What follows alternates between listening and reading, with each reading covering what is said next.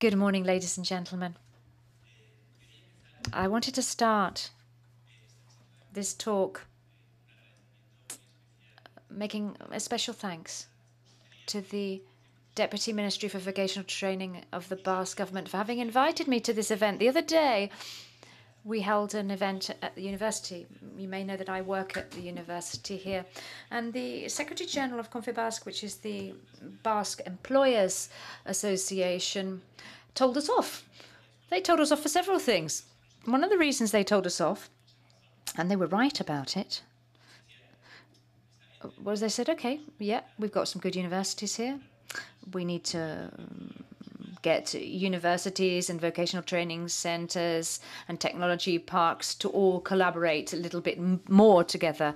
We need to be closer to each other, and the people that work in all these organizations need to be closer to each other, need to have closer ties, and they're right, because there are times when we meet up, but I think we actually ought to meet up a bit more often and have a deeper relationships. And that's why I'm so pleased that you've invited me here to talk at an event on vocational training and you've asked me to come and give a talk. This is the talk that I always give, so if you've seen me before, I've only got one talk to give.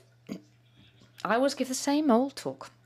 I'm just telling you. So if you've ever heard me before, sorry, you know what I'm going to say. And I always talk about three things that are the three priorities that I think all advanced nations should have on the table uh, before us, which is industry, knowledge, and people. And in fact, what we heard from the introductory words, this these three subjects came up quite a lot, because this is really the essence of everything that we're doing because uh, vocational training is linked to industry, to knowledge or skills, and above all, it's of course linked to people. There's a, a, story that I'm going to use to give you this talk, which is the story of Alice in Wonderland. I don't know if you've heard Alice in Wonderland. This is a film that Tim Burton uh, made recently, and he actually mixed their Alice in Through the Looking Glass with Alice in Wonderland. And this whole thing starts out with Alice falling into a rabbit warren. And he, she tries to follow a very busy rabbit down the warren, and she ends up falling into his warren, which is actually what we've done here in Europe over the last five years. We've sort of fallen down a black hole. I don't know if you remember, I don't know if you know, the first part of this graph uh, goes down a little bit. That might be that was Lehman Brothers. If it had been Lehman Brothers and sisters, things wouldn't have been so bad. But actually, this just goes to show this is a lesson we need to learn. Actually, Lehman Brothers and sisters a lot better. Then you remember the green shoots. You remember all about the green shoots? Well, that's in green there. And then we've spent a further two long years falling down this black hole. Seems like we're getting out of this black hole now. And this is, uh, by the way, this is an, a chart that we form by asking people that are in charge of um, purchasing in companies. And we're seeing that throughout Europe, industry is on the increase, industrial activity is on the up. But ha however, after the sort of failure of all these green shoots programs, we're all a bit cautious. We don't know whether this is all going to progress as it should. And we're cautious because the world is changing an awful lot. This is a photo of what the world looks now. 7 billion inhabitants. And this is uh, more or less how it's divided up. You've got a billion living in the Americas, a billion living in Europe and the European area of Russia. There are about a billion living in Africa, and there are 4 billion living in Asia. That's what it looks like today. But actually more interesting than this photo is the left-hand side of the screen where you can see what's happened over the last 50 or so years. And we, it sort of crept up on us, this phenomena, a very surprising phenomena in mankind's history, which is that for several centuries, the, the pyramid, the populational pyramid had, had broadened. Every year more children were being born than the previous year, and these children were surviving, so the world population was on the up. And what's happened over the last 10 years uh, whilst, my children were growing up has been that there are no longer more children on the face of the earth every year. The population of children has actually gradually stabilized, which means that there's not going to be a great deal more growth. Throughout the whole of this century, the world population actually is going to grow in number because of an aging population. Because what's happening? Well, by the way, I was born in 1965, and in this graph, you can see the birth rates of different countries and, and life expectancy as well. And here you can see how there was a group of countries which are the ones on the left at the top.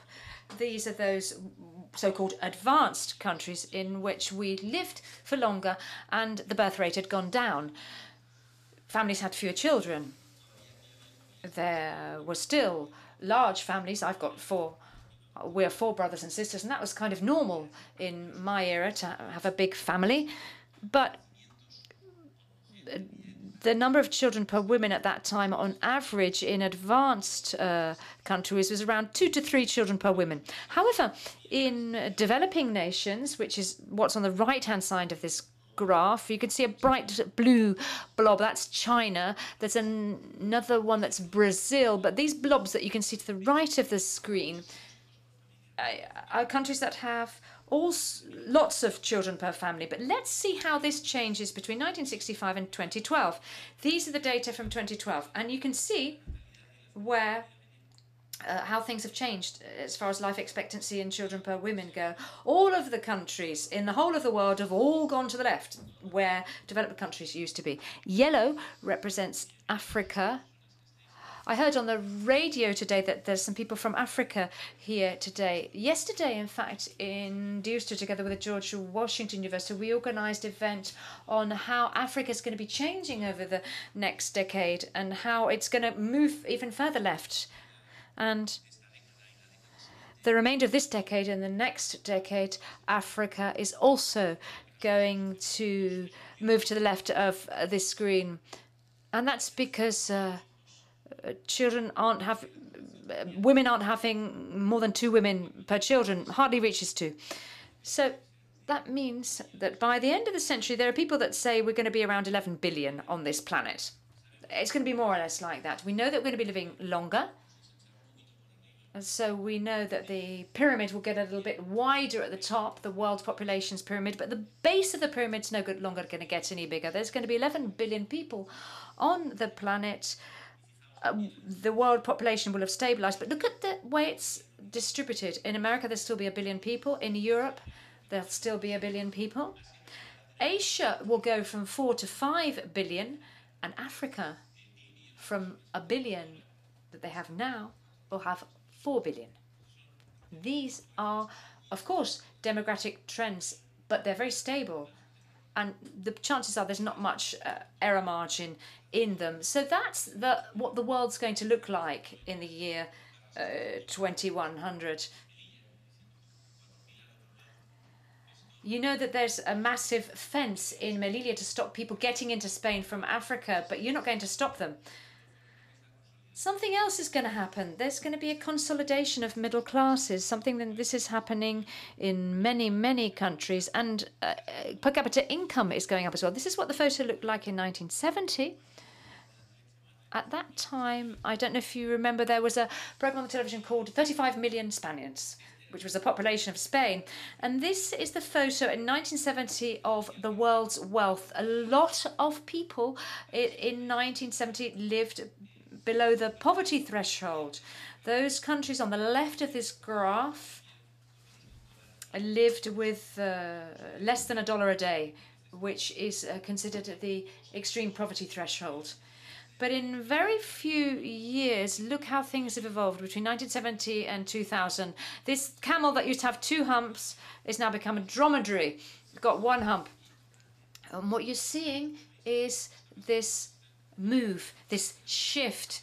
Um, middle classes are becoming more and more consolidated, and the middle class have traditionally driven world economy throughout the whole of this century. There's a graph prepared by Gapmind every year, and what you find on the horizontal axis are is income per person and on the vertical life expectancy, average life expectancy. And there you can see a clear correlation. The more wealthy we are, the more uh, life expectancy we have, the better our healthcare systems. And in the central part of this graph, you've got what are considered the middle classes. And once again, you can see how uh, in the left, Africa, which is the continent in blue, is what needs to be uh, to come on board in the middle classes. But Latin America um, and much uh, many parts of Asia have really joined the middle classes. Look at the size of India's population, the size of China's population. These are where what we used to call the advanced uh, nations are. Here you've got the example of US. The US isn't a very wealthy country, but life expectancy isn't as high as other countries. And um, the uh, American administration is trying to improve that situation, is trying to improve the health system because the way the health system works in the US is such that only those that have money can actually access it. They can access good health care. And here you can see the mm, wealthy countries. Can you just see Liechtenstein there? When you actually uh, retire and you've got lots of money, you need to go live in Monaco because actually look at Monaco, it's the top right hand point of this screen because that's where they live longest. And apparently they live and they eventually die because they're just so bored of, of living. That's unfortunately the situation in Monaco. I don't know if there's anybody in Monaco from Monaco in the room, but if they are, I've really put my foot in it. So the message I'm trying to get across is the following. In these countries, uh, middle classes are consolidating. This is fantastic news for mankind because in 2030, there'll be 8 billion people and almost 5 billion will be considered the middle class. And the middle class will be found throughout all the continents of this world. In Asia, we will have uh, 3.2 billion people consuming 3.2 billion people that want their washing machine, their TV, their car, and the uh, training for their kids. And in Europe, and we'll be number two, and uh, United States will have 320 million. This is the snapshot of the demand that we'll see in the future. And that's why right now we are seeing this interest from all the countries to generate an industry that is able to cover those needs. This uh, path where we had the developed countries are lagging behind between 2010 uh, and 2020. There's no doubt that China will overtake um, United States in uh, wealth uh, production, wealth production. Russia will overtake Germany. So we're going to see major changes in the future. And this is what makes us feel in the developed countries. And you come from many different countries. So I work. I have this uh, European uh, view, but this is also happening in Japan. That we're going through this rabbit warren. We are experiencing one other thing and it's been mentioned already that at a demographic level we face a serious problem. This is the pyramid that we are have in the Basque Country 2014. We more or less know what will what will look like in 2025 following the trends which are very stable and we know that it will change very slowly and we have a problem a clear problem is not that the belly is going to go move to the chest. Basically, is that we're going to uh, get less and less uh, young people, and we're going to find some consequences to this. In the, in the uh, left graph, we've uh, I've tried to put the public uh, level or system, which is efficient, and the pensions, people that have uh, quit working and then now receiving their pensions on the green area, corresponds to the people that are active and working for private companies. Well, not means that they're not working, but it means that they're active, so to speak, that could be working. So we would have to subtract those that are unemployed. That we've said that is 15.5% in the Basque Country. When we project this to the future, and we'll try to figure out how it would look like in the future in 2025, if this population, we even project it further to 2045, and the people that would be ready or uh, available to work, you see how the images, the image changes. Especially um, people that have uh, retired. For example, me. For example, my father is um, 80 years old from 1934, and he would be on that spot, whereas me. I would be in that spot. I would be there, a bit more to the left. And this is eh, eh, it's what we say in Spain that children are going to go through a generation which is worse than what their parents have gone through. We still have 40 years to become the first generation that will live worse because I look at my father and I say, well, he's deserved it and he's good, has a good retirement. And when I I I just try to wonder where we're going to get the money from when we uh, grow older. So that's why important. Whenever we focus on the green um, area in 2045, we need to make this green area very productive. We need to make it very competitive and able to generate lots of value because this is where everything is at stake. Uh, and many people are writing and thinking about this. And was uh, maybe we need to uh, carry out deep economical uh, economic changes. And capitalism has worked fine for many years and it has many defects and flaws but there's been no other system to generate as much uh, wealth. Maybe it's very poorly distributed but what's true is that it generates wealth. What happens is that this capitalism that we've uh, brought about all the uh, capitalist countries is taken to its limits. And we're going through these things that I'm talking about. So we keep on doing things and in the same manner we are not going on the right path. We need to change. The thing is that we don't know who's going to take over. Which system is going to take over? I've uh, mentioned Michael Spence some um, Nobel Prize winners um, Krugman who uh, is all talks a lot and writes a lot about this. And there's a young woman who talks about the circular theory, and he's, she's presented this at the Davos Forum, and she talked about uh, big transformation. And then we have Piketty, and he has uh, written about about this book called uh, Capital, talking about the inequality problem. And all the Nobel Prizes don't wear a tie. So maybe I'm making a mistake by wearing a tie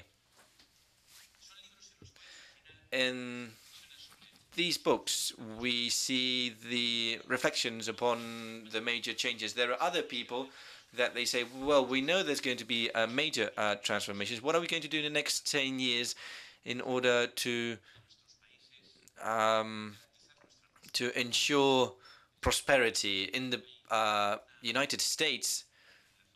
And in, we find Gary Pisano, who is a professor at Harvard, MIT, people, some uh, Obama advisors, and then top uh, right bottom we see a picture of Mazzucato, and she is from the University of um, Sussex in the United Kingdom. So prosperity requires to be able to create industry the industry that we have to uh, needs to be needs to be competitive and needs to go ahead.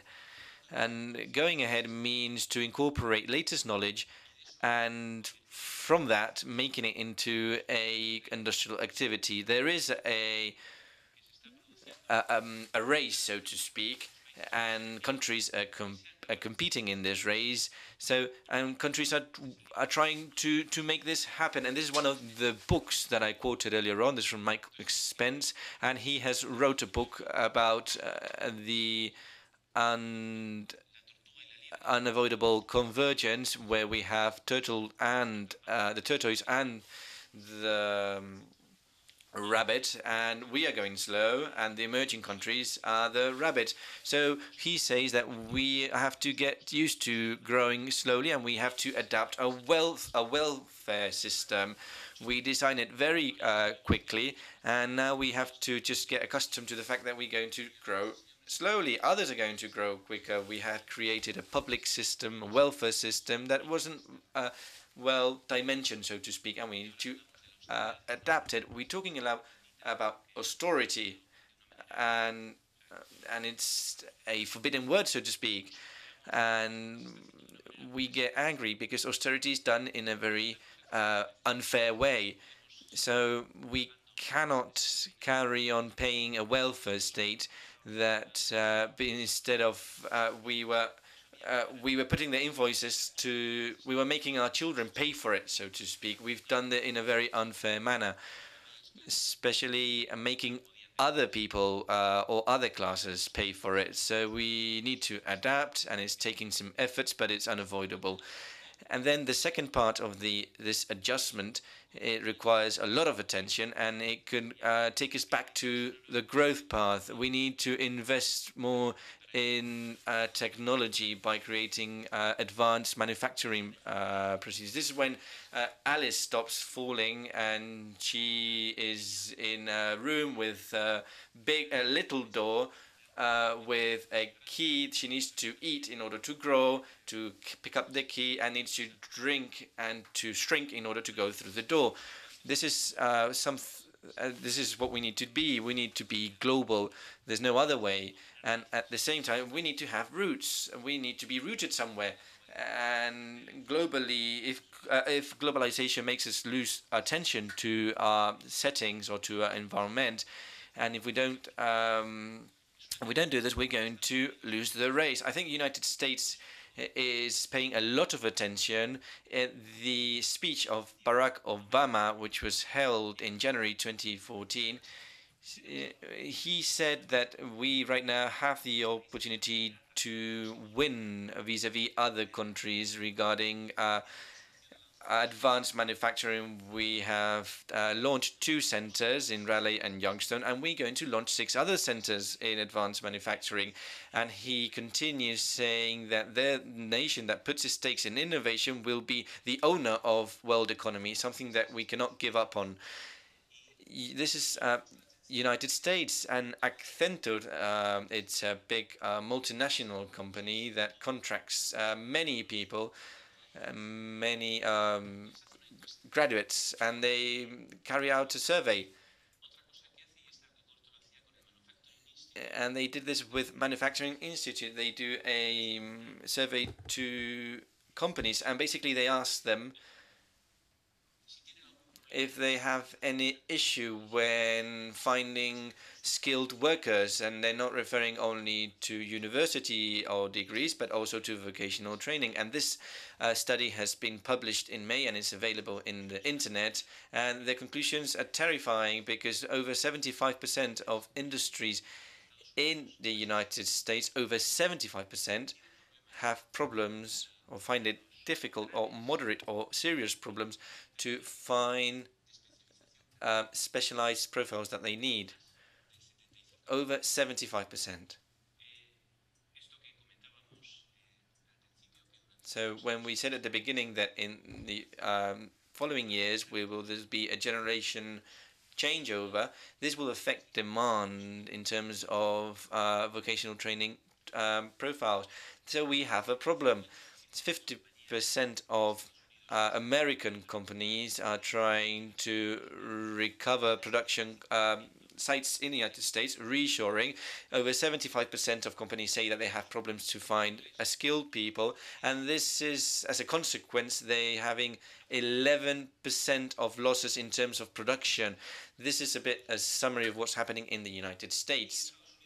So what's the United States doing about it? They these are headlines from January and we see that they're determined. If you want to recover your industry you have to put your stakes on your vocational training. This is a very important pillar. What about germany? And it's been um, quoted um, well he's a she's a bit thin because of austerity. This is our friend merkel. Maybe i get some i get told off by germans here. No we we have a lot of um, we like germans don't worry. And Angela was invited by the um, OECD. Uh, she went to Paris, and what she said. So why Germany is doing better than other European countries? Well, we uh, we devote around 3% of our GDP to research and development or new knowledge. She talked about 4.0 industry, and at the end of the day, we manufacture very well. People are very skilled in manufacturing uh, processes, but these people, if we don't make these people integrate the digital side, the redistribution of the value chain, and using the new tools that is offered on the internet, our engineers will have no value, so to speak. This is what Angela Merkel said uh, a couple of months ago. And this is what explains the race among countries. And this graph, um, we see how devoted each country uh, is towards uh, knowledge, how much money you're actually putting into R plus D. We've seen this in Germany, the United States. France is around 2%, a bit over 2%, and the UK is a bit under that, um, or below that. And then this graph tells us how much they're investing and how much they're putting their stakes on it. And in the next slide, we're going to see what the industrial evolution has been throughout the uh, last 14 years. And then we have Germany and the United States on the top. This is from 2000 to 2014. We see that there are countries that have a bigger industry than in 2000, and there are five other countries France, UK, Italy, Spain, and Greece that have less industry. We've lost industry, so to speak. If you look at the order, uh, Germany, United States, France, etc., and you, if you see the ability to create um, industrial activity. So they're very much intertwined and linked. We have to take into account labor costs, um, energy costs, and the situation. So we need to incorporate added value industry. So thanks to these uh, works, uh, Germany has an unemployment level of 5.1% and the uh, United States 6.7%. So it's a safe bet, so to speak. This is a map that displayed by Battelle, which tell us a bit about the race towards knowledge. The more to the right, the countries have gone more for technology and innovation, and there's a correlation between what you invest and the number of uh, skilled workers that work on those fields. In terms of the bubble size, um, this is the absolute um, dimension. If you are more to the right, that is that you invest more proportionally. But um, to uh, United States is bigger because it's a bigger size. This was the situation in 2004. But now I'm going to show you the situation how it will look like in 2014. If you look at this um, graph, the three red bubbles where we find Germany, uh, United Kingdom, and France. If you look at the difference between 2014, Germany has had the group, in spite of the crisis they've gone through, they've uh, worked with a lot of determination and followed by France and the UK. But if you look at China, in 2004 was a medium-sized bubble and how is moving towards the right and how is getting bigger and bigger. The plan or what schedule is to converge with the United States, but uh, also in science and technology. That's the global race that we are living and this is a map um, drafted by the European Commission that shows not only what countries are invested in science technology, but how it's turned or converted in patents and high technology products high-tech products. The uh, dark color shows the innovation leaders countries because they're investing a lot of money and they are knowing how to get take advantage of that investment. The uh, light green color are, are leading after, and then Paris, you can see that that um, is actually absorbing all the energy from the surrounding countries and in Spain, only Navarre and the Basque Country are uh, light green. Well, the thing is, in Spain, is well, we're not doing so bad. It depends who you compare to, and the problem is who do we compete with, and the uh, art industries compete against um, uh, Europe. So to become innovators is the things that we have to um, compete with very innovative countries. And Germany has distributed this um, in terms of areas. Not only he it invests in this, but it uh, things what the companies want to basically. If they need something, they'll invest in that.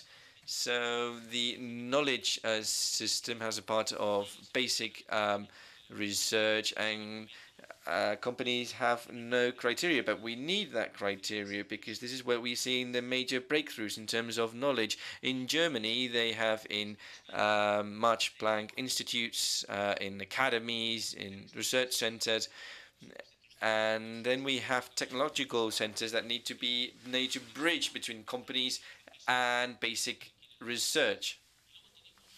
And then on the right, we find research linked to company. We have vocational training centers in Germany where they make these centers very close to companies so knowledge goes very quickly into the uh, business sector so when you are investing 3% of your GDP in uh, innovation and technology, this is what happens. This is another image with the volume of the amounts that is being investing. And this is a graph from the Eurostat unemployment rate and the the countries how they are investing in innovation and how it's been reflected in unemployment. Before I talked about uh, United States unemployment rates, etc., but it's not sheer coincidence. If you look at the European countries and you look how they dedicate their funds and you look at the unemployment rates, those countries like Sweden, Dan uh, Denmark, uh, Germany, and countries that are uh, famous for having a very good vocational training, because when you put your stakes on it, you put you give added value to all the chain, to the value chain. These are the three keys that will allow us to go for prosperity, put our stakes in industry and science technology and knowledge, and to put our stakes on people because people are the only one, people are the only capable of, of turning things around. The White King, when she finds uh, Alice, she could uh, see the future, and the White uh, Queen ask uh, Alice to think of six impossible things, impossible things uh, at breakfast. So when we face this situation, people say, "Well, we can't turn things around. How are we going to, taking into account the crisis, cutbacks, and taking into account uh, issues in the industry, and bearing in mind." Uh, social problems how are we going to go this way how are we going to flip it over and I'm talking about the Basque country, but I'm sure that in many countries where you work, you're probably facing to the same challenges. The thing, the thing is, is when we're talking about impossible things, this is a graph that um, shows the percentage reflected on the uh, gross added value in the 28 member states. We've set a goal, the 2020 goal and we are achieving uh, aiming at 20%. And if you look at the graph, and if you look at the goal, we already set the goal of 3% on GDP on R plus D. We set it for 2010. We've uh, postponed it to 2020. If you look at the graph and you look where you have to go, it's, a, it's completely impossible. We're not going to make it. We need to fight for it we need to fight against this idea that it's impossible. Impossible is nothing. It's necessary. Either we do that, and the same applies when we talk about VET. When we set a goal, if I've got these slides from the Confebask uh, secretary, and I saw the slides and I found them very interesting. That's why I'm sharing it with you, sharing these with you. If we want to put our stakes in research and uh, and excellence and industry, we need to have a very good VET uh, sector. Those who uh, build up industry are skilled workers have been trained in very uh, high quality centers. And the needs are going to be very different and somehow larger. So the goal that has been set by the European Commission by 20, uh, 2020 is to have 35% uh, of graduates, 50% of vocational training um, students, and 15% under that level. In one of the surveys carried out by Accenture, I was talking about and um, asking graduates whether the work they carried out was in line with their studies. 46% of graduates um, state that are working in things that they they needn't have the uh, their studies, so to speak. So they, this has grown 5%. So there's a decoupling, so to speak, in terms of what you study and what you end up doing. And many people uh, uh, go to the university and at the end they don't get the necessary skills for the market. So we need to improve this. This is the situation right now in the Basque Country, which is not bad, but we have a, a very important challenge. Jorge um, depending on, I said that depending on how you interpret this, we would need to change. But I'm sure that in uh, his speech he will cover this. But um, we need to make a very important um, effort to correct this and to put our stakes on vocational training. How are we going to do this, ladies and gentlemen? And this is my just to, to finish, we need to think in impossible things. We need to set impossible goals, so to speak, or very ambitious goals. When we put when we say that we have to put our stakes in industry, we really need to do it, not only by words but by budgets. Not only by holding speeches, but also being uh, consistent and putting our stakes in vocational training. This is what we're doing here.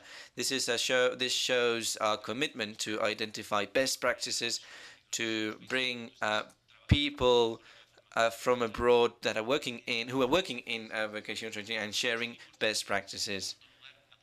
And it's important to put our stakes in um, knowledge infrastructures. We need to invest in R plus D, and this investment needs to be uh, directed towards uh, VET centers. You need to be identified as a key role player in the chain. I was with the Singapore uh, VET responsible. Uh, we in Singapore we want to go to uh, made in Euskadi to thought in Euskadi. And he replied, "Well, this is very good, but I think it's not correct." If you forget on how you do things, it will you will end up that you're only going to be you'll be focused on thinking and you cannot think because you need to think together with industry in terms of how you do things. There's a lot of uh, knowledge that's generated among uh, workers that have been uh, trained in VET I've worked um, hand in hand with VET. I had I was graduate, and they were far better than I was. They understood processes much better. They understood how they improve their processes. They thrashed me in at all levels, and they knew what other other countries were doing as well. And they were they were they were doing on this on on vocational grounds because they like this and we need to follow this path this um, knowledge for instance. You have we have to be determined.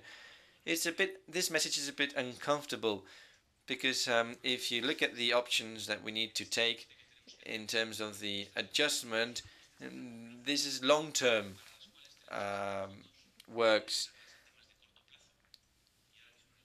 And at short term uh, society has many needs and we need to tell the society very clearly that we need to take uh, sacrifice. sacrifice.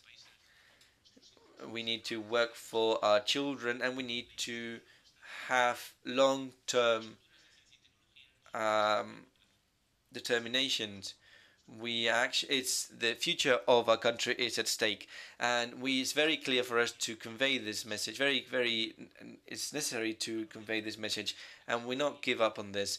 And i think this is correct but we need to set or draw another red line to defend industry and knowledge. And we need to um, ingrain this. And we need to put our stakes on people as I was driving here, I was listening to the interview to the manager of Confebask, and she talked about vocational training, talked about um, senior people, and all those that are over 45 that are a bit outside our scope of universities and that are going very uh, difficult uh, situation, as the regional minister said.